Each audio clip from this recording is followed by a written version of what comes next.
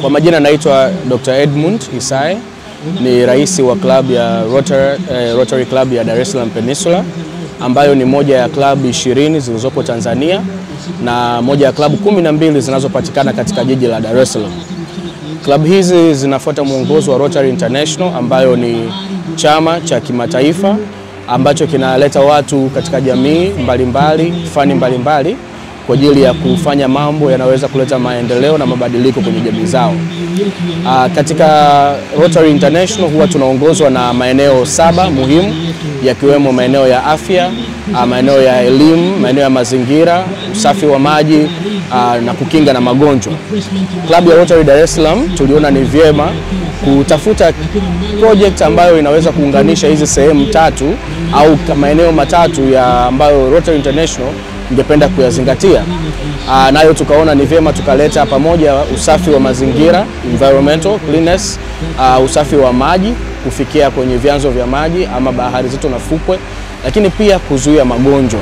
Kwa hiyo uh, project ambayo iko mbele yetu au ambayo tumekuwa tukiifanya tuliyoifungua leo rasmi kwa, kwa uwepo wa Mheshimiwa Waziri wa, wa, wa, wa, wa mazingira ni project ambayo ni endelevu uh, ambayo itakuwa ikifanyika kadri vile tutavyokuwa tumepanga kulingana na support kutoka kwenye serikali za mitaa, wananchi kwa ujumla, lakini pia na wafadhili wetu, maana sehemu kubwa inahitaji vifaa vya kusafishia bahari, fukwe, uh, vyombo vya kuondolea taka, lakini kwa sehemu kubwa jamii inayotumia fukwe hii uh, kwa ajili ya kuitunza zaidi lakini tunikumbushe kwamba hizi Rotary Club zinafanya project mbalimbali, wakati club zingine zikiendelea kufanya project katika maeneo ya elimu, uh, maeneo ya afya, na tumeona sisi ni vyema tukafanya upande huku, maana tunawakaribisha kwa sababu ni chama ambacho ni cha hiari, ni volunteering clubs. Uh, mnaweza kujiunga kuwa tunakuwa tuna ratiba zetu na jinsi tunavyokutana uh, na ni, vyema sana kushiriki. Natumai ni sehemu moja nzuri. Uh, sisi binafsi tunasema giving back to the community.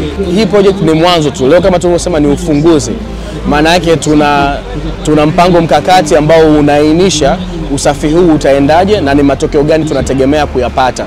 Kwa hiyo labda jamii tu ifahamu kwamba sio mwisho leo hivi vifaa vitaendelea kupatikana kadri tutakavyoweza kwa msaada wa serikali ya ambayo ya Msasani, lakini pia kufikia fukwe nyingi zaidi.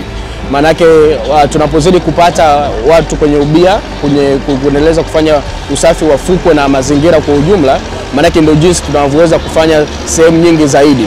Kwa hiyo hii ni sehemu tu na ni mwanzo tu, na tunategemea kufanya hivi na kuleta yale matokeo tunayoyatamani. Zipo fukwe ambazo zinatu inspire za jirani, nchi za jirani, fukwe ambazo pia ziko katika visiwa vyetu. Tunatamani tusafishe fukwe zetu za Msasani na fukwe nyingine ambazo zinazunguka uh, nchi yetu ya Tanzania, kama alivyosema Mheshimiwa uh, Waziri kwamba hata kwenye uh, mito mikubwa na vyanzo vingine vya maji tuhakikishe kwamba tunaweka fukwe zake kuwa safi na salama.